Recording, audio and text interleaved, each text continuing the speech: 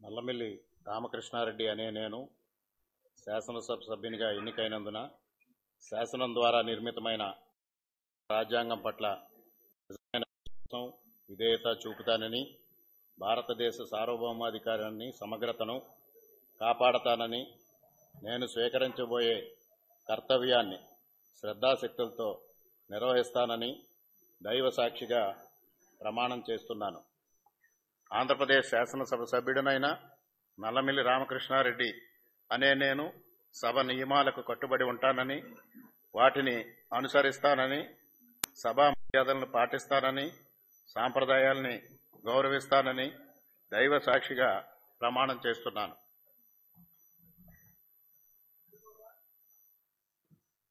Shri Rammohan Gadde